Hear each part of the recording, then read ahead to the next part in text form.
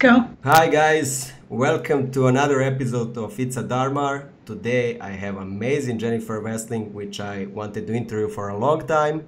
She has been working for Six More Vodka, now she's working in Riot, and her work always blows my mind because it's very unusual for me and totally different from what I do. And I know that many of you would like to hear her story and how did she become a professional concept artist working for some of the best clients in the world. Hi Jennifer, how are you?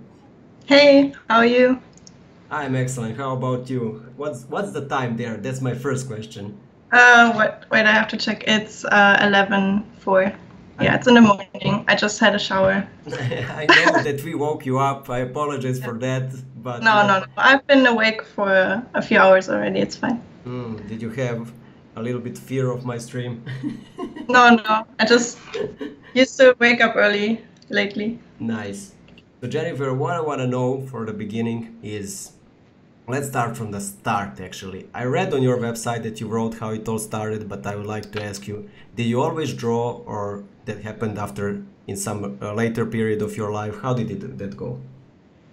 Uh, I think I was always drawing, but not really seriously. I think I picked it up when I was 16, 17, when I was reading a lot of mangas and we had a like my dad's friend was always um, giving us a lot of books and I started like uh, tracing them and then drawing my own like characters in manga style. And there was like this uh, website in Germany where there was like a manga and anime com- community and that's where I was always uploading all the stuff. Yeah that's how it started that's how it started for you. So yeah. How, how did did you study? You studied graphic design. That's what I read. How did the transition from there happen to the concept art? Because I know many of us started studying something else because in our time there was no concept art to study. And yeah. how, how right. did you learn about concept art? How did you investigate that? And come um, to the conclusion you want to do it. Before I uh, studied graphic design, I was already like starting to get more and more into digital art, like transitioning from like manga. I at some point I was like, no, this is not where I want to go. It's not leading me anywhere. So I started picking up uh, like painting with the Wacom graphic tablet and going more and more into this um, digital 2D art, uh, like com- on communities like DeviantArt and stuff like that. And then I finished uh, school and I was a bit lost first because I didn't know what to do. I was like one year doing nothing, and there was nothing close to my hometown, and also um, financially I could not like move somewhere really far to go to like a good school. So I was looking around what's in the area, and I like I found some schools that were doing stuff that is kind of the direction, like illustration, but integrated in some courses like graphic design. So that's why I picked it. But it's never, it was never like exactly what I wanted to do. There was just no game art or concept art courses in my area. I see. I see. So you had to explore, and it was like an adventure for you. Because I know for me it was an adventure. I studied industrial design. Was it also for you like that? How did you explore on internet? Did you visit the old forums, conceptart.org, or? Yeah, actually, I also thought about doing industrial design, and in my um, university they had fashion design, industrial design, jewelry, car design. So it was kind of like a good mix, and I could also sit into their drawing courses. I think that's that was a nice um, thing that I kind of picked up, but it's not like in the official like curriculum of the school. So I really like that there's like different stuff you could pick up, but it's not like really a school of illustration or anything like that. Mm. And then you started then you started painting for yourself and that's how you started exploring right this kind of field the concept art. How did you my main question i know that many designers would like to join six more vodka and many designers have actually artists they have dream to come there. How did that happen for you? Because hitting a company that big i think it's like a dream right? Yeah definitely. Back then it was because my university in the fifth semester they required you to have like a practical semester so I had to apply to companies. and I didn't have a strong portfolio back then, so I was just I just had digital art, and I wanted to do something like that because I knew that from my university I would never get that, like they would never teach me more. So I was trying to apply to places like game companies or concept art studios, and of course in Germany there weren't that many, and it's still there are not that many. So Yeah. I just tried my luck, like after having like a lot of uh, rejection letters from other companies. Uh, I just tr- I was like fuck this I'm just going to apply to SMV Six More Vodka and and kind of worked out so I, I was really happy. Like I couldn't believe it. I was just like okay let's just send this email. I didn't even like put much into the email just like my portfolio link and really happy it worked out Mm. I'm also happy for but I you. think I wouldn't have applied if my university would not have required it because just by myself I wouldn't have had the confidence to just Mm, go yeah. without any reason Yeah, ma- many artists do struggle with confidence, you know, but uh, very brave move from you to send because uh, sending email to Six More Vodka is a little bit, you know, hard and uh, it is uh, heavy to do something like that because you're always afraid if what if they reject me, what if this happens. Yeah, Yeah. but but you landed landed an internship there, and that's how it all started. Yeah, I think definitely always try because I wouldn't have tried just by myself. I had just the reason that I have to find that internship. That was for me important back in that day. So I just applied everywhere, but just by myself I wouldn't have done it. But I would encourage everyone just if they really want to do something and are passionate about it, just apply. No matter don't wait like like I have a portfolio in two years, just do it and then try again if you like feel more ready in later time. Yeah, I absolutely do agree with you. What I want to know is how how did that uh, work in the Six More Vodka? If you can talk about that, how how were your first months? Uh, was it hard adjusting to the team? And what were your biggest mistakes back then? I know that many students would like to hear that kind of stuff. Well, I was uh, like that was so early in my career of like digital painting. So for me, it was actually the first time I met other artists coming from the countryside in a small village. Mm. I was like mind blown, literally mind blown. Yeah. So that was um, I don't know. It was just soaking up all the stuff, and I don't. While I was there, I wasn't feeling like I was doing progress, and I think after I left, because it was a timed internship, I had to go back to university. That's when I had the time to kind of process and work on my stuff, and yeah, Mm. I think it's a lot first, of course. Yeah, so many information flying all over your head because there are so many professional artists in that studio that are on such a high level and. Uh, Yeah, it's like going from zero to like oh all the senior artists that are so good and it's just it was also I was young and there was I was live like I had to move to Berlin from like a small village. It was just like a lot at first, but, But- definitely an experience. Yeah. Yeah, but you survived. you survived. I and, survived. and, I, and I think that you're doing really, really good because your work is amazing. And now you are in Riot, right? hmm Yeah. So, so you moved to Riot after six more vodka. But before talking about Riot, I would like to ask you a couple of things. What I love about your work is that it is full of color. And there is something magical about it, you know, because when I look at it, uh, there is such a dynamic in these pieces of yours that they, they catch my eye immediately.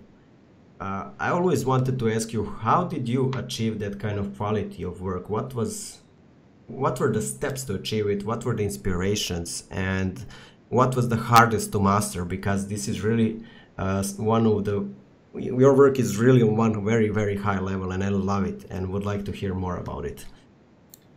If that's such a big question, Let's let's shorten it a bit. What was the hardest to master to become a master of this kind of art? I think everything is slow and it's like lots of small steps. It's not like one big thing, but there's always like it's like little pockets of what you can go into, like color or light. And yeah, whenever I like found something I'm like excited about, and then I was like going more into it. And yeah, I think with color, it's always something that was really important for me. Like I, I know some people, for example, start in black and white and, and put color on top. And like my brain cannot compute that. like I'm too stupid for that. I always start in color. It's like I kind of need the base. I also really like the traditional approach where you know they had like underpaintings before they started the real painting and how colors interact with each other, stuff mm-hmm. like that. Yeah, super so, interesting for me. Yeah, but you, I, I mean, if I started in color, I would get lost, and it's funny because you're like, I can't do it if I don't start in color. I mean, it's for yeah, my, yeah. my brain, for example, can't process it. It can't process it, but your brains obviously works in a different manner, and I can see that because color is really the most important thing on your image. I start in color, but I still do like some steps. Like I put first like the base color, then I put the light and it's still kind of like broken up into steps, but it's not like right right away all in one layer. That's difficult, yeah. Yeah. You also mentioned that you like traditional kind of way of working. Do you work in traditional way? Have you worked before? Not that much. Like I never had the means to work a lot in traditional art. I, for example, I never tried oil. I really would love to at some point. And uh, I don't know. I just I think switching from digital to traditional, it's really helps to like get the best of both sides. But I wish I had more time to do that. I don't really do much. Mm, I see. But I think, for example, if you do studies in gouache or watercolor, you can like take a lot from how you use the strokes and take it back to digital and stuff like that. But yeah, I basically grew up with digital art, so I'm not really good in traditional mediums. Yeah. I mean, I mean, we are all the generation of which is in between traditional and the digital era, and uh, tablets became. Uh, you you could get them more easily in our age because they got a bit cheaper, and I think that we were in between and we were all trying a digital because it looked like something new and something that you can investigate. Like today, everybody is trying VR, and yeah. Have you tried 3D maybe, or you're just at the moment working in 2D? Do you have some idea that you can move in that direction? I wish I could 3D, but you don't no, I mostly, I mostly work 2D, but something I really want to explore is the VR art, definitely. Mm. I've seen a lot of videos about it, and it just looks so exciting. yeah, it has a great potential, doesn't it? Like uh, immediately painting and seeing everything in 3D it's a completely yeah. different feeling for me. I tried it a little bit. Uh, and yeah. for me it's the most fascinating because when i'm working in a 3d i'm not in a live space but when i'm working in a vr i literally feel everything what's happening around mm-hmm. Yeah is it did you you tried it i tried it yeah but it's like i would have to get into like learning the software it was it didn't feel natural yet mm. when i tried yeah. But I can totally see that becoming more natural, and also I guess the technology will evolve, and it will feel like right now it's a bit like a, when you we when we were painting in paint back in the day. Like it feels very, I don't know, stiff yet, but yeah, I think it will potentially get better, and I really want to like try yeah. and get it. Yeah, it will evolve. The software will definitely evolve in a better direction soon, and I can't wait to see what you can make with it. Mm. have you were you always interested in drawing characters, or that started to appear when you were in Six More Vodka? How how did that go? Were you interested? Were you going all over the place like I was, uh, trying everything, or there was always I want to do characters, I want to do illustration? No, I guess after the internship, I definitely went more into characters. And before, I was doing all kinds of stuff. Also, envi- tried myself in environments.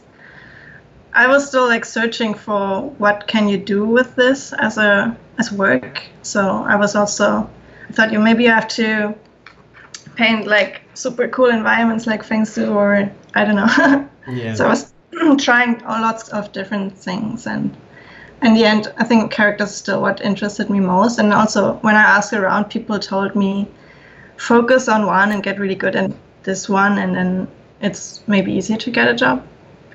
Yeah, that's that. Yeah, that is one way to go because there is always I mean, people have two different ideas about it, uh, going in a different direction, going multiple ways or one. But I guess it worked for you going with one thing because you mastered it, really, really mastered it kind of work. And uh, mm-hmm. you you mentioned you're the first person, by the way, that mentions Feng Zhu on my stream. Did you watch his videos? yeah, I watched all of them. I mean, I also watched them. I what, what do you think about Feng work? Do you think he inspired us a lot? Because I think he did, and I would like to talk about it. What, what, how, how did it help you with his, with his videos? I mean, generally back when I was learning, there was not that much stuff like Gumroad and like I just always had to search on the internet for where can I learn. I didn't have any books about this stuff, so he was putting a lot a lot of content out there for free and lot of good. Even though sometimes the style was not what I was wanted to do, it's still like a lot of knowledge and about uh, industry and just the mindset. I think that's super helpful when you're learning. Yeah, he was giving all always lectures. I remember that was which year was that for you? 2009, 10, something like that? Uh yeah, probably 2009, 2010. Yeah. I see. And I want to touch now the subject that we started and that's how did that thing with Riot happen? Entering that kind of studio, every artist wants to be there. You were successful enough to make it there. How did that happen?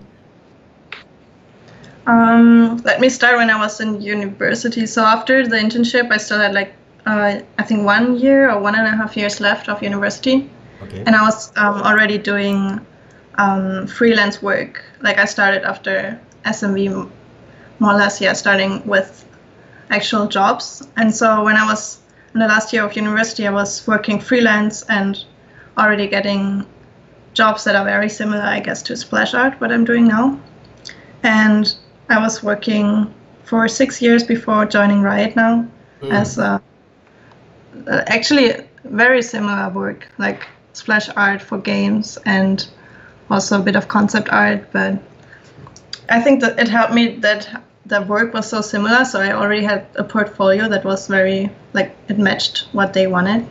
I see. And I think 2014 I had an art test uh, for Riot, but that was right at the time when I was finishing university with the, all the big exams in the end. So that was not a good time, mm. and I wasn't ready yet, and I think they didn't use it. And then from there, there I was just going to stuff like THU, the or IFCC, the events in Europe they have, like the workshops, art workshops, and I always try to go to the recruiting sessions like Blizzard, Riot, and I guess they had me like in a file already, and then they noticed think, you. They noticed you. I yeah, I hoped. I always hoped, and then um, I think it was two years ago. Then they, they contacted me, and I started just freelancing. Like I had also other clients, but they started giving me work, and then uh, last year, I was hired, um, still working from Germany, but exclusively working for Riot. And then it took me one year to get the visa and then go in house. Yeah. Mm, that dreadful visa. That dreadful yeah. visa that we all have problem with. And uh, yeah, how, how did that go with visa? Because one year to wait, I mean, that's uh, for me, it's emotional pain literally when I hear it. How, how, how did yeah, that I go? Mean, in total with the in um, application i mean no in, with the interview for the in-house position it was i think almost one and a half years so it took a long time long time really a lot of patience but i was working for them all the time so it was okay mm. um, but yeah it's just i think they helped me a lot with the visa they set up all the paperwork stuff and got a lawyer, so that helped a lot. I think if I would have had to do that by myself, I you, would not you wouldn't. yeah, I totally it's understand. It's more complicated right now, so yeah, didn't used to be that long. I I mean that is a thing. Uh, when you think about it, you're like I do it a couple of times. I bring a couple of papers, and that's it pretty much. And then when you start doing it, I mean it's a mess. It's a mess, and Yeah. Uh, I, I would like to talk about that. Can you share a little bit information for people because there is a lot of us that need a visa to work in that kind of environment. Mm-hmm. So can you tell us a bit uh, what you needed for the visa and what they asked for, if we can talk about that, of course. So um, first, I tried to get into like H1B, which is like a normal work visa, I think, mm-hmm. with the company, and it's like a lottery. So already getting into the lottery is like a lottery, and I didn't even make it into the lottery. Mm. I think mm. they just I don't know what the requirements are. I just sent them over everything like that is that I have a degree, that I whatever, all my papers. And then yeah. they like it took a lot of months, I think two or three months, and then they said no, I didn't get into the lottery. But even if you get into the lottery, there's still a high chance that you don't get the visa. So yeah, it's yeah, it, you need a lot of patience and it's uh, frustrating. But then because that didn't work, they um, tried the O1 visa, which is I think for artists and for talented individuals, right? For talented individuals. Yeah, when you can like prove that you're like doing stuff in this field and you can, I don't know, maybe you have articles or you did a talk or interview. Yeah. And so I didn't do much of that, but they like scrapped everything together that they could find, and that finally worked. Yeah. Mm. But definitely with the help of Riot. So you got that visa O1 visa? Yeah. Nice, nice. I think it's the best visa for artists because it gives a lot of options. You can work, mm. and it's crazy. I mean, it's a crazy papyrology. I know all about it because I checked everything, and every mm. year I'm playing lottery. To be honest, and for yeah, now yeah. nothing is working. Everybody around me is getting, but we shall see how it goes. yeah, O1 is a lot more work because you have to get recommendation letters. It's not like the lottery. You, they you need to gather a lot of proof. I think I contacted more than 10 people to write me recommendation letters and yeah, it's hard. You you don't want to run after people and you don't want to be annoying, but I kind of had to mm-hmm. get those. So I'm super grateful that people were so helpful and wrote those letters for me. Yeah, good for me. Good for them that they did it, and nice from them that they did it. I'm happy. That yeah, definitely because yeah. because it's it's a hassle to be honest working on it. It's it's a crazy mess. Uh, yeah. you said that you worked before riot as a freelancer. Mm-hmm. and how did that go? Did you like it? Can you compare it to to working in-house? Yeah i think i really like it and for me it also gives right now it gives just gives me the confidence that if anything doesn't work out in-house i could always go back to freelance because i was working six years from home. That and so at some point i was like i, I kind of need to change but it's not because i didn't like it. It's just i want to learn i want to grow. So that's why i made the decision too but i actually really like working as a freelancer. It gives you a lot of freedom. It comes with like there's good parts and bad parts. What are the good parts?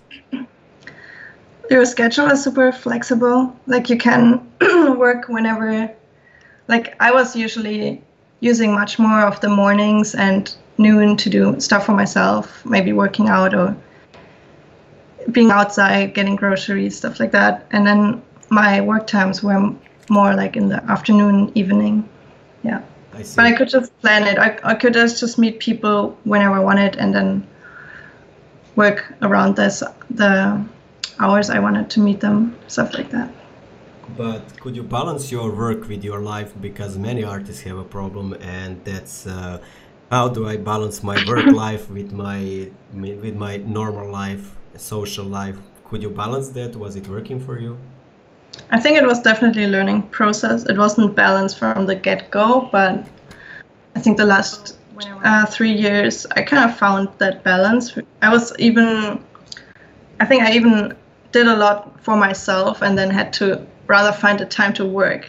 So I kind of, how to say it, like, because I did a lot of stuff for myself, then the time I could work was more limited. And then in that time, I knew, okay, I have to sit down and have to do it because of the deadline. So mm. I kind of kicked my butt, like, for myself, just to, like, I needed the pressure sometimes to work faster and that's why I rather did something in the morning, so I kn- knew the rest of the day I have to sit down and work instead of like sitting down in the morning, starting work, and then being like restless because I still have like energy and want to do stuff and not focused really. Yeah.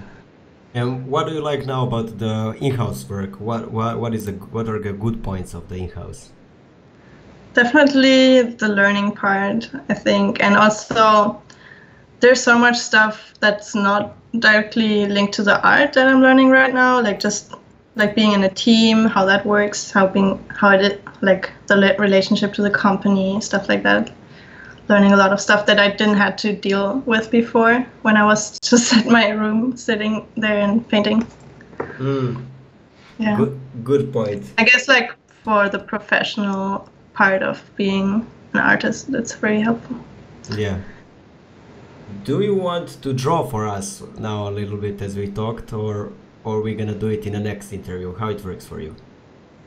I can do that. You can keep uh, asking questions if you want. Sure, sure. I mean, I could just like color maybe some sketches I ha- had re- uploaded recently. Yeah. Let's do it because it's a bit hard for artists to draw and talk at the same time. But if you want, we can do it. I had to ask. I can try. If it doesn't work, we just go back. of course, of course. Let's try it. Let's try it. We are ready. Uh, let me try. Can I even share my screen? You should be able. Um, how do you do it? Uh, oh you- my god. You I'm so have... unprepared. No, no, don't worry because we are all lost in this Skype. This Skype is crazy. In every stream, I'm like, I don't know where to share it. So you have in your right corner, there should be uh, two squares and they're biting each other next to the heart. Do you Yeah. have? Click on Yeah. them and you should share the screen. Oh, cool. Yep, I see it. Um, And we have, you see my stuff. yes, It's just what I posted on Instagram lately, like some sketches. I will post your Instagram in the page. Just give me a second. And because now I have a problem, I can't move your screen. Oh my god, stupid Skype. Uh, float. Okay. Give me two seconds because now I have a problem with Skype and I don't know what's happening. I'm sorry guys, this is happening every time and I don't know why this is happening, but here we now can see Jennifer working. Okay, so I- Is it working? Yes, we can see you. Your amazing sketches. There is a girl kissing a guy. Yeah, it's just some studies I did. Uh, how do you do that kind of studies? You you you watch the images or you go on the street and paint as a fast sketches? How does that work for you? I think I, I have all kinds of approaches, but um, usually when I just for myself, I oh, like I save a lot on Instagram, like small, different things. Maybe it's fa- the fabric, maybe it's the face, stuff that I like, and then I save it into where you can save stuff on Instagram. And sometimes I just take it as a like starting point and then build my own sketch around it, but it's not always like 100% study or so. Hmm. Yeah. I see.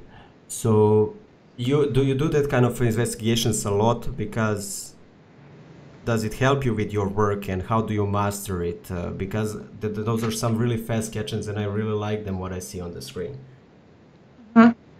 Um, I don't know. I think it's also like, especially stuff on Instagram, it's more like comfort zone stuff. So I just, it's relaxing for me doing stuff that I like, I'm interested in. Like, it's not even like, oh, I need to study this, so I, I go really serious about it. It's more like relaxing for me to find stuff that I, I like, and maybe it's fashion, sports, stuff like that. And Do you have a magic brush? If you can Uh, share it with me. Magic? No, I usually I'm really I, I use like the round, hard round, hard or like the soft round, like those two a lot. Damn it, I thought you have some magic Uh, brush. the only magic brush I use is actually like a smudge, like it's this one. I don't know where I got it from, but I can show you later when I'm like drawing. Let's it's usually um let me see. Oh god. So there you hear it, guys. There is only smudge, one smudge tool that you can use, and it's a magic. Oh, I see this work. This is also not my usual workstation, so bear with me. Ah, okay. Don't worry. We are here. Nobody's gonna run away. Where's the... Oh, here. Yeah, it's this one. I kind of like how it blends Yeah. stuff together. Because I usually, I just put the colors on, not really, not really accurate, like with gradients, and then I, afterwards I smudge a lot. I see. Usually that's, I guess that's what I use a lot. Uh, your brush, th- that smudge tool is on 50%. That's what I have to notice and say. Mine is on 15% when I'm using it. So why do you keep it on such a high level? Mm, I don't know. It's just like how it was always. Like I don't really play around much, but Mm, it works for me. I kind of like that it has like a.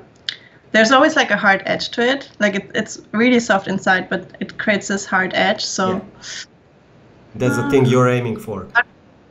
Yeah, because you kind of get still like some kind of traditional feeling. Like there's like hard edges, almost like if you use a brush. I see. and I kind of I think it's a bit difficult in the beginning to like balance it because you always like if you do this there's like oh it's not soft but I kind of learned to work around this and I get like this random stuff that I sometimes like like it's like happy accidents yeah Yes, I see. And now you're gonna paint for us with colors and everything. So that is not your workstation, regular one. I remember when we talked in the like two months ago, and that you're working on a Procreate, right?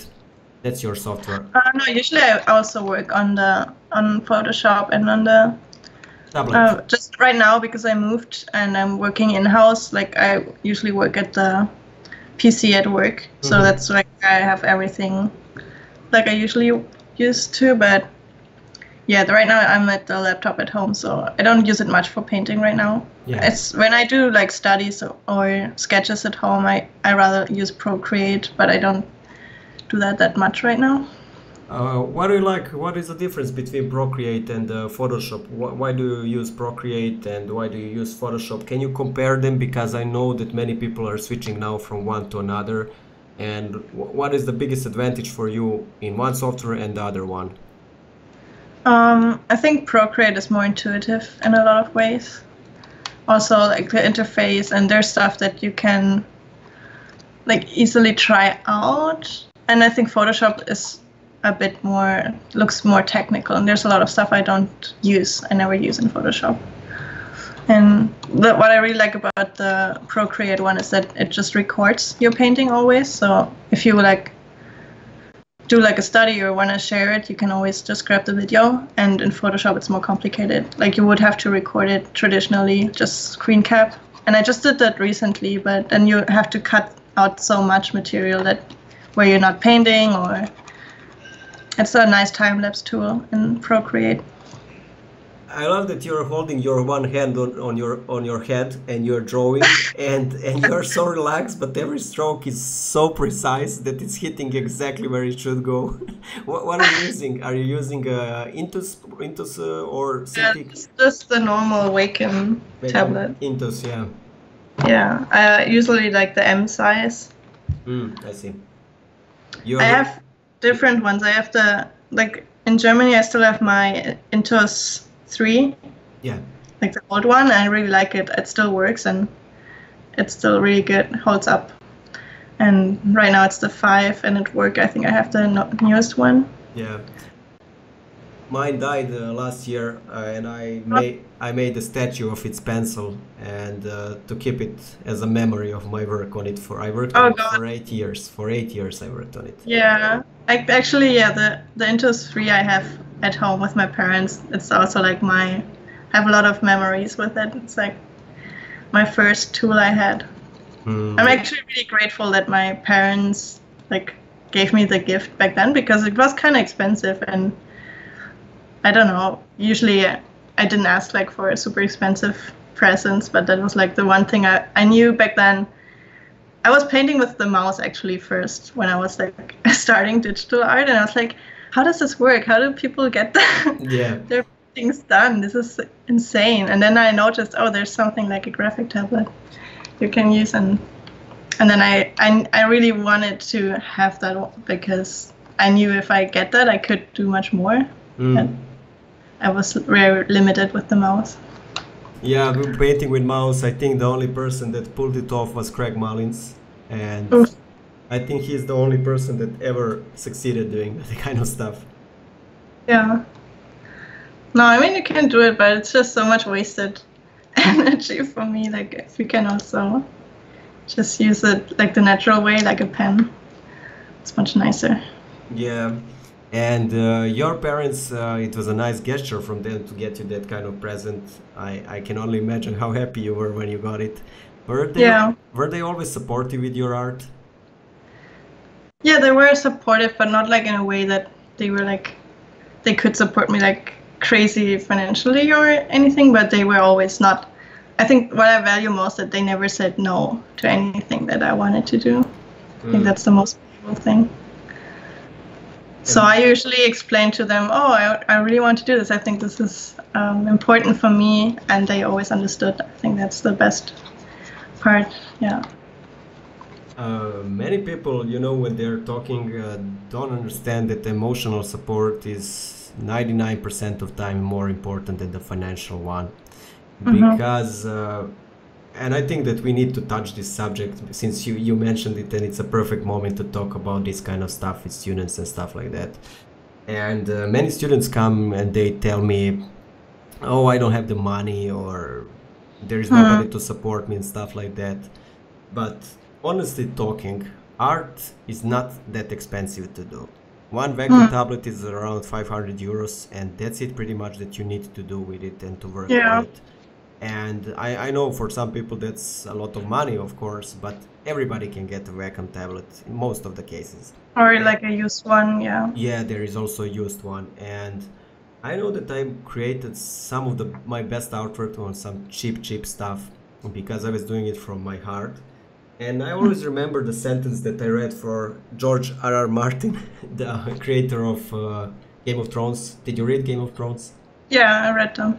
And uh, I know there was a sentence, I, I will try to reproduce it, but there was a sten- sentence when he said, uh, Paid sword will never fight good as a, as, a, as a one that's fighting for his country.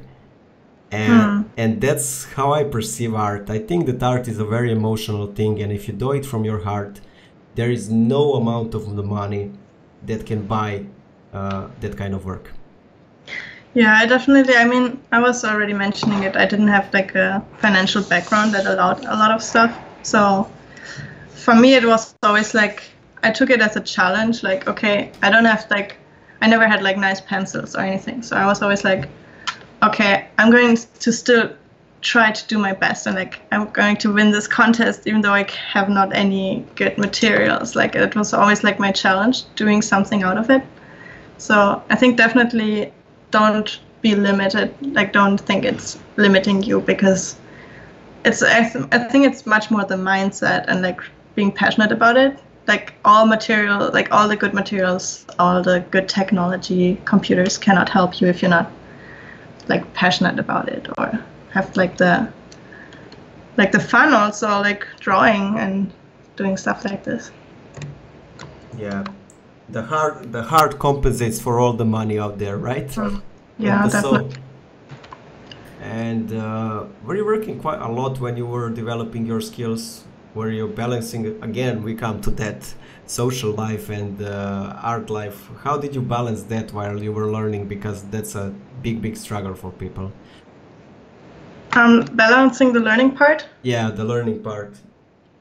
Um, I get asked a lot, like, do you do studies every day? Do you draw every day? And I think for me, it definitely comes more in bursts. Like, I don't do uh, like st- I don't draw for myself every day or stuff like that. And I also had phases where I was really burned out and I didn't want to draw anything. I was like, oh, I'm going to give up and do and become teacher or something. and and I didn't draw for months or so. I think I always um, had like phases where I was like really into oh I, I really want to draw, but I don't really know what to draw right now. So I was going into studies because studies you can always do studies and you don't need a like idea or anything. You can just go and draw and and I think that's where I learned a lot. Like it's like it's small. Maybe it's just like a few days in a year where you did a lot of studies or you read a book and tried out stuff. But the rest of the year you weren't that productive. But I think it I value that a lot. Just like whenever you feel that energy that or like the flow that you're right now. Oh man, this feels good. I'm learning right now. Then I try to really use that and go more into it. And I, I, I admit I didn't have that lately. Maybe because right now at work it's a lot like to like uh, a lot of input to work around right now. So I don't do much for myself, personal work or studies, but I can totally see that at some point maybe I'm like dive deep into it again. I see. I see. Also, I see that your girl on the painting has red color of the hair. Is that you? oh, that's not hair. That's a scarf. okay, I thought it was a hair. My apologies. It was red. but I don't have red hair. Actually, it's what's the color of your hair? naturally, I have black hair. You naturally. but on, on, the photos and on THU, I remember you Not had. Not right now. Yeah. Not ah, right now. Okay, okay. For a second, I thought I was colorblind. Oh no. kind of right now. Speaking speaking about the events, will you be visiting any events this year? Yeah, I'm going to um, Lightbox and THU this year.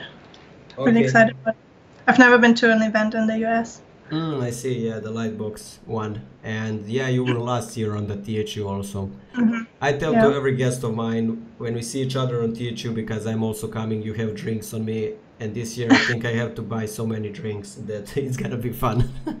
yeah, THU is always fun, and actually, yeah, it's for me. It's been also a big part of like where I am now. So I'm going to be doing the recruiting this year with uh, my manager too and it's just yeah i'm really excited to like see how it goes and i'm ready to answer all questions if people come to me congrats that's a big really big thing to do because uh, you'll be responsible for many people and speaking let's talk a little bit about that what does riot expect for in a portfolios so you get hired i guess because it's uh, a big company it's important to be kind of specialized. Like in a small company, you might be um, doing 2D and 3D, and maybe you have a lot of stuff that you can contribute. But I think in Riot, it's a lot of specialists, like people that are really good in one thing. But definitely, it helps to have a lot of different skills. Yeah, and I think for portfolio, um, definitely have stuff that is um, close to what they are looking for. So if you're applying for concept art, so have concept art stuff in the portfolio, and if it doesn't always have to match the style, but maybe the quality of what they want to see. I see. I see, and uh, what I want to know is, uh, so what what would you, Jennifer, ask for in a portfolio if somebody comes uh, on a THU Riot and they ask and they say, okay, I want to work for a Riot what what would you ask for from their portfolio? What would you be like? Okay, this is good. I like this. I think first I would ask what they want to do. Like, what um, do they want to do? More illustration, or do they want to do concept art, characters, or more like story moments? I think that's always good to know because then you can see where it you could lead people to something. So for illustration, what I am doing, I think I'm always looking for like how does the person understand light like how's the quality of the work like how far do they have pieces that they pushed a lot because i know if you're doing pieces for yourself you maybe not spending always like a month on an illustration like we would do it for splash art but maybe you have like one or two pieces that you really try to push yourself as far as you could and then i think that's visible and that stuff you can I would like appreciate to see like how far can you push yourself. Mm. And uh, is it, would the right portfolio portfolio for right require to have a lot of work, and you would like to see couple of works only? I know I'm asking uh, more uh, uh, smaller questions and smaller kind of pieces, but I'm interested to show the public what they should aim for because I know many of them would like to go to Riot. Um, if it's more like smaller piece, or what was the question? Uh, would you like to have a lot of work, or you would like a specialization in one one piece? Like, okay, let's do this only. Let's do characters. Let's do environments. It's always easier to talk about a piece, I think, and it's also maybe more valuable, like a few pieces, for also for the person. I mean, having a lot of work is impressive, definitely, but also giving feedback or like it's better if it's like smaller pieces then you can go from piece to piece and also talk about it a bit instead of like just flipping through all of them that's like it's very impressive but it's also it's nice if you can like maybe focus on one and talk about it with the person yeah mm. i see or maybe yeah maybe taking like focus on one yeah mm. when talking to, about it yeah I see. I see. And it's just like what I personally would think might be different for other people. Okay. Okay, understood. But since you're gonna be there on THU, people would like to hear who's gonna recruit me and stuff like that, and I'm sure that after this they will be happy to know. Yeah. And what, what does also does uh, I know that many people talk about what kind of but what kind of characteristics does uh, a person have to have to join the riot because many people are talking okay you can have the skills the best ones in the world but if you are not like right kind of personality the studio is not gonna hire you what do you think are the characteristics that you would require to have to for riot hiring I don't know if I can speak for all of Riot. I'm speaking like more from the art team I'm yeah. in, of course. it's of my course. experience. But I think definitely being very open open-minded and also being um, open to growth. So there's a lot like we get a lot of feedback at work to, at our own pieces. Also, we give feedback and just being um, like cool about getting feedback, not not letting your ego play in too much. That's I think really important because in the end you might have to change stuff that you were like oh i like this but it doesn't work and then you have to accept it. And if you would like always let your ego like um, stop you from that then it wouldn't help the team or the product. Yeah. I see. And, and also just i don't know everybody like in my team i just can't speak for my team. Everybody's so friendly to each other and i don't know.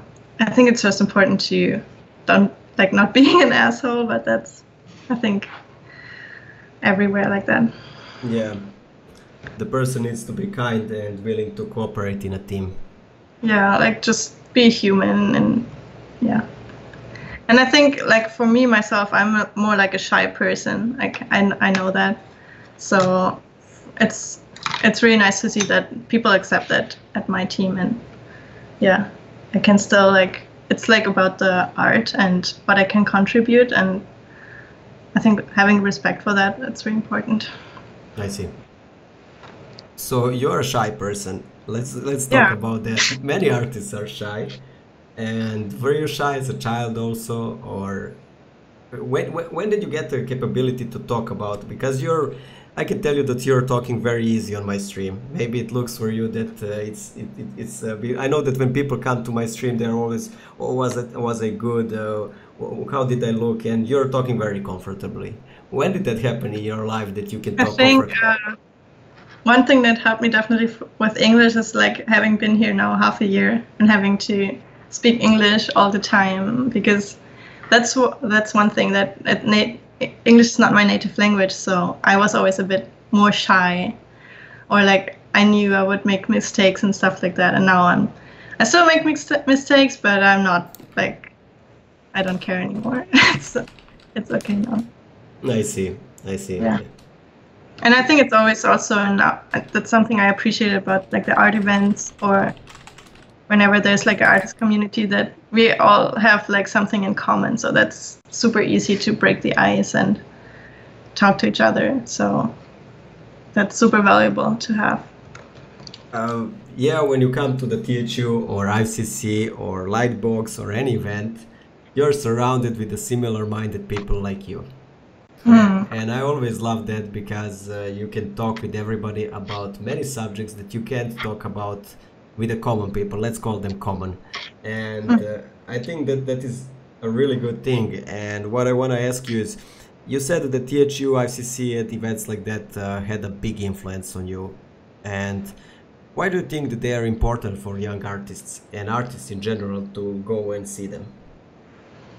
I think it's a lot of stuff. As one of the big things is, of course, networking, like getting to know your peers, because it's not always the companies that make you like move forward in the career. It's sometimes also just peop- your peers, other people that you meet there that are going to be your contacts for life, maybe. So that's super nice, and I really appreciate having had that experience. Like when I, I think first visited THU, I was still living in my hometown, but I was just about to finish my um, university and move to Berlin. So when I moved to Berlin, I already knew people from the art community, and that helped just a lot to get adapted to that new city and having like a small group of friends already. Mm. And I, I see that more and more. Like even when I came here to the US, I already knew some people from before, and it's just so so helpful to have this networking factor. Yeah, because you can also be in a small town or village, but in those events you just get to know people, and in the end, a lot of the networking, I mean the relationships are over the internet. So you can still like talk to them afterwards but you just saw them in person so it's not that weird anymore to like just write them in the internet yeah. yeah. Speaking about that, I'm now thinking how many friends I have on the internet, and I'm talking with them every day, and they are literally my friends, but they are online friends, and every time. Uh, yeah, there's still people I haven't met yet, but I have I'm still like talking to them.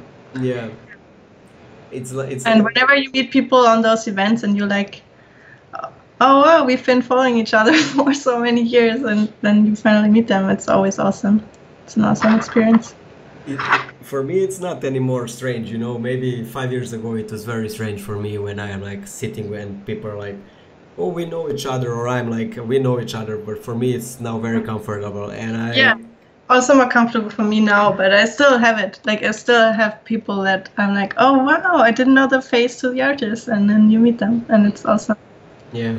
They, so this they... is right now. I'm smudging with my smudge brush. Like you see how the I the strokes are super bold, and I just soften them out. That's and what I usually do a lot. What I notice on your painting is that you for you don't do one move with that you feel with exactly the same color, but you do couple of moves and uh, then you start smudging them out as I can see. Uh, how, how do you achieve the quality of your renders? That's what I want to know. The high quality of your renders where everything is super polished. I think that's much later in the process, but first I always go like from big to small. So right now it's just testing out light. I usually have it on a different layer, like here, so I can still like hue slide it and try out different lights. So I just try out different stuff. Maybe I try lighting from the other side and like just look what works first. So you're um, you're testing in the beginning the the first basic colors, then the light. That's how you do it. Yeah, it's not even. I'm not really rendering anything right now. Also at work we we have a similar process where we first do like a color sketch and refine that in but in a very basic way without going in and detailing anything. And if the light and everything works, then we go in deep and zoom in and do like detail work. But right now, I just really want to know if the light works before, because then you spend so much time maybe already rendering a face, and then like halfway you you notice like oh shit the light doesn't work at all. So yeah, that's why I try to use this is like super light. Like there's no I didn't lose anything yet so I can just test around. uh, what, what I do, the difference between the work, I mean, we do completely different work, but I always mm-hmm. put shadows first when I'm rendering. Yeah, I think it, it, you can go both ways. I can see, like, people do, I also like to do multiply layer, like, uh, it's almost like where the light doesn't hit, I do like a, what is it called? Oh, do you have any specific pattern when you are putting light that it comes from that or this direction, or you switch it and choose it uh, depending from the mood and experience? I can switch it. Like I, yeah, now I turn this one off and I just try an, a different one from the other side, and then I turn the other one on again, and maybe you, I even like them both together. So it's just like trying around, and there's stuff to consider like if the light comes from this way, then maybe it doesn't hit her face as much. So I just, because the face is like a big part, or maybe her gesture, so I, I want to like test where the light could hit without like having a weird shadows on her face or stuff like that. Mm, I see. So it's like testing around, but a bit with like the figure, of course, in mind, like how it is and what could be interesting shadows. You don't want to like have a shadow that makes like the overall values of the face look weird. It's basically like for me it's a bit like photography, like when you have actual lights in a studio, you know. So you go with that kind of lighting. You explored photography when you were learning or yeah, we had a bit of photography in my uh, university, but also it's just testing around with lights. I think I like that too. Like for studies, like if you have like a light source and just like move it around the object like how does it react and basically what i'm doing right now it's like just turning on spots like if you have a person in the room and you turn on a light spot it's it's funny because every time somehow the, the, the talk goes to photography you know you can run away from it but you always come back to the basics you mean other people also yeah every, every, every, professional artist goes based to the photography I, yeah I, because photography is like the art of catching light. So that's what we are doing right now, catching yeah. some. I mean, every artist at some point tested the photography and how the light works. I also tested it because I had to learn it for 3D and stuff like that. Mm-hmm. And as you can hear, guys, amazing Jennifer is also using that kind of stuff and other artists that talk. So fundamentals, guys, there is no program that can save you. Yeah, I think light is super important. It makes like the whole doesn't have to always be super accurate, but as long as it's believable, it it makes the the image feel real.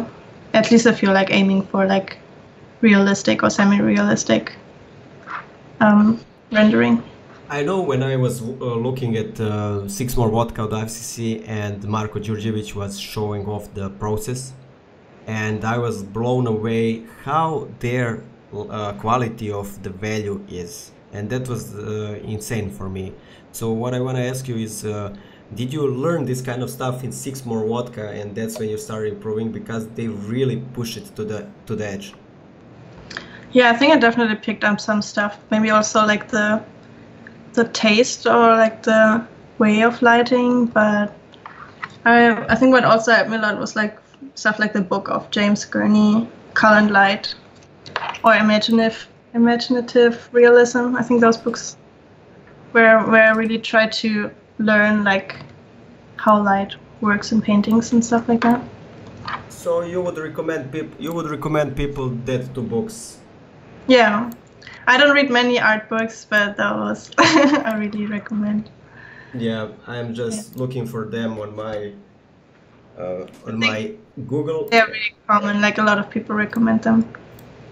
Yeah they I, I i never saw this book to be honest and i'm ashamed a little bit now but thank you for the information i will check it out and download it it's very fun uh, it's very, very much about the fundamentals so it's like how you light a scene and i think he also mentions that if the light is consistent then it's it increases the believability even though the the scene might be look super fantasy but with the light, people can relate and then see, oh, it's an actual figure in a room. I see. And what what does inspire Jennifer? What what are you inspired by?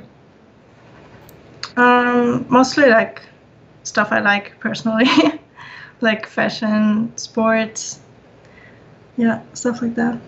What what kind of inspiration do you get from fashion? What kind of from sports? This is the first time finally someone that's inspired from with sports on my stream. I don't know. For me, it's like I like to do sports, and I tried out different stuff, and it's sometimes the feeling like, oh, it's something I can. If I paint stuff that feels like I can relate how I would feel if I would do it. So I think that's what maybe people can then feel in my painting. Then, like, oh man, this is really exciting, or the, they can feel the power that you might be feeling if you do the same thing. So that's why I also like dancing and like stuff with movement, and that's I try to do stuff like studies from dancing and stuff like that because I kind of feel I I know how it would feel if I would do it, and then I think I can transport it better to the painting if I am if I'm excited about it. Mm. Yeah, that's exactly what I would say also because for me sport gives that kind of uh, literally emotion that goes through your veins and your blood and mm. so you're trying to translate that you like you like dancing what else did jennifer did you train anything when you were younger um, when i was younger i didn't have much uh, going on because i was in a small town mm-hmm. village but when i was in living in berlin i tried out a lot of different stuff because finally i had like all the options it's like a big city with a lot of different stuff. So yeah, I was working out a lot and trying stuff like Aikido. And actually, like Aikido, it's not. I didn't do it for the martial art like aspect of fighting or anything. It was more. I just liked how flowy it was, almost like a dance. So oh. that was what resonated with me. And I don't know, mostly hard, hardcore stuff. I don't know. I went. I was ice um, ice skating and playing ice hockey before Whoa. coming to Riot, and now I picked up surfing here. Kind of. Have, I have to adapt to what the options are here. I don't have a car right now, so yeah, I so, have to adapt to yeah. different life. So you're adventurous type. Yeah, kind of.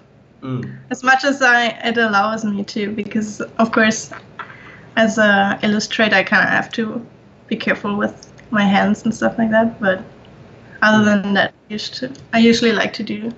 Yeah, the, our, our hands are super important. I know when I trained uh, kickboxing, and I was always afraid that I would yeah. break break my hand and something break my head, but, but don't break my hand, literally. Like that's why I did Aikido because it was kind of like the softest martial arts you could go. But I would always love to try out stuff like jujutsu or judo because yeah, I really would love it, but I'm just a bit scared of my hands. Yeah. Maybe maybe you can you could put money on your hand like famous people do, you know, insure it. yeah, at some point. Like Beckham or something like that. Hmm, that's a good idea. I'm thinking out loud now. but then again, yeah, it's just being careful yeah. and still enjoy it because at some point I was like, oh, just fuck it. I'm just going to do it, and it gives you so much energy too and inspiration back. So, yeah. Uh, why do you think that artists don't like sports? Because mostly when you say to them they're like it's some kind of disease, and they're like, no, no, no, no, no, no sports for me. I mean, uh, you're you're a different kind of artist, to be honest, when you say that kind of stuff. So why do you think that artists, for example, don't like sports? I wouldn't agree. I think I know a lot of people that do a lot, but yeah, for me personally, it's just getting out the energy. Like I can, I'm not a person that can sit a long time in front of the screen. I love it. Like I love painting, but at some point I just get restless if I don't do anything. Yeah. So I just that's why I liked doing like workout in the morning because I get all that energy out, and then when I'm back, I'm just so dead I just cannot. There's nothing else to do than painting. So I just sit there and do my stuff, and I don't have anything that like gets me away from the painting, and I can focus. And what does inspire in fashion? I don't know. I just like to follow it. Um, I have a lot of like. I like to focus on materials and fabric. Also, that stuff I I really like to do when I get the chance to in my paintings. So it's always nice to follow stuff because there's a lot of materials that like I like how it reacts to light or I, I noticed a lot of paintings there's like all the materials look a bit lots the same and something I I try to do in my paintings is like um, giving each material a different feel. Like skin should definitely feel different than shiny fabric or metal. So I try to push the difference between the materials. I see. I guess that's why I like following fashion. I mean, of course, there's also like really cool cuts and the attitude and stuff like that, but also just from an artist viewpoint, there's a lot of stuff I can grab and get inspiration for paintings. I see. And guys, we are soon finishing. Uh, hit the subscribe button if you haven't because we will have more, many more guests and many cool episodes such as this one with Jennifer. And I want to ask Jennifer one last question before we finish. And sure. that's what kind of advice would you give to young artists, Jennifer? Uh, following your passion, definitely. Like, even though it seems like it's not going anywhere, just like if you're passionate about it, just keep doing it. And also, not like in a crazy way, like give yourself breaks and just feel like how you feel. Like, if you don't feel like painting, you don't have to paint. Don't be, don't pressure yourself. Just uh, always like keep it in your mind that you really like this and follow it. Yeah. Follow your heart. Yep. I agree Definitely. completely with you. So, guys, that was amazing, Jennifer. And I'm so happy, Jennifer, that you joined me. We touched many subjects, and you yeah. also painted for us. It I was... didn't go. I didn't go far with this painting, but yeah. No worries. It's it's quite kind hard. relaxing to... on the side. Yeah, it's quite hard to draw and talk at the same time. So I completely completely understand you. Yeah especially in an interview. So, guys, that was episode 16. Uh, Jennifer Wuestling, and this was her amazing art and her amazing story. You can see her on THU, where she's gonna be one of the recruiters. And I'm super happy to have you t- tonight here, actually, this morning at your place because here yeah. it's night. It was such a pleasure talking with you, Jennifer. Yeah, thank you for the invite. I will see you on THU. You have drinks on yeah, me. Yeah, see you there like many other artists, and we will drink and have fun and talk there. It was a pleasure talking with you. Thank you. See you guys. Have a great day. Bye. Bye.